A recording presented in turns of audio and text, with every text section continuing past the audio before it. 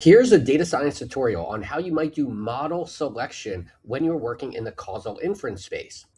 This is something that is so well documented in the machine learning world, but sometimes is really overlooked in the causal inference space. And it's something that can set you apart from junior to senior level or staff.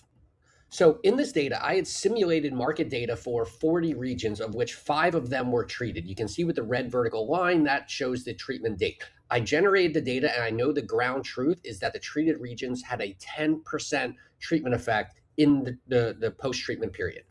So with five treated regions and 35 untreated ones, uh, a couple of options are synthetic control and difference in differences but there are others as well. Now, when I asked Claude Code to do this, so I asked my AI, said, give you free rein, and it right off the bat went with differences and differences. And when Claude did differences and differences, that it actually made a slight mistake. But uh, effectively, the result was that there was a 24% increase in the treated regions due to the treatment. But again, we know the ground truth is 10%. And importantly, Claude Code did no model validation and they did no model selection processes.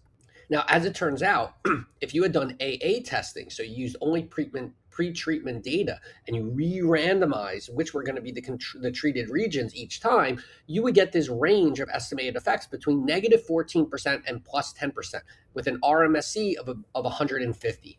Again, this is all AA testing, so we know the ground truth is zero effect. Now, what would this look like if we did synthetic control instead of difference in differences? So using the exact same pre-treatment data, we get the a much tighter distribution of effects using synthetic control from minus six to plus eight. And the treatment effect RMSE is dramatically smaller. Uh, sorry, I need to. Yeah, I he was using the wrong one there. But uh, here's the, the the the the same outcome here. So it goes from negative six point six to eight point seven. Again, that's a much tighter range for the synthetic control than the difference in differences. And here's the treatment effect RMSE of ninety eight instead of one hundred and fifty. Again, is much smaller, drop by about a third.